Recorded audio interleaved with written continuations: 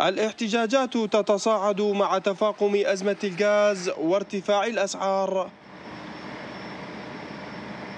تستمر أزمة الطاقة في كربلاء بعد تعطل خط إنتاج الغاز في مصفاة المدينة لأكثر من شهر حيث يتظاهر أصحاب المولدات الأهلية احتجاجا على نقص التجهيز وارتفاع الأسعار في السوق السوداء لأكثر من ضعفين.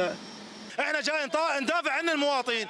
غاز ماكو راح نطفي. إحنا واقفين هنا هسه ما نرجع لهن المواطن يريد كهرباء. الكهرباء جاي نشغل المولدات. هسه جاي العالم ملتمه. 16 ساعة جاي يشغل. وكهرباء ماكو.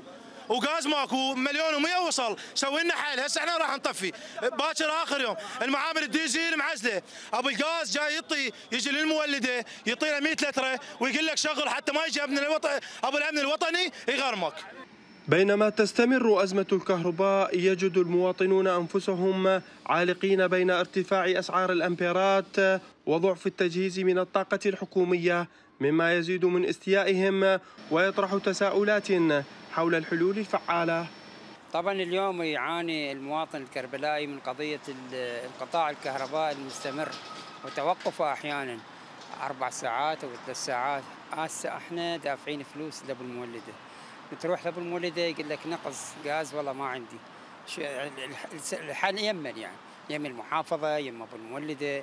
شلون والله يم التيار أما يصلح يصلح التيار الكهربائي وأما تكون هنالك معالجة معالجة توفير الغاز لأبو المولدة. تستدعي أزمة إمدادات الوقود والتجهيز الراهنة وفقا للمراقبين اتخاذ إجراءات عاجلة لاستئناف عمل المصفاة نظرا لارتباطها المباشر باحتياجات المواطن الأساسية. علي مطير وان نيوز كربلاء.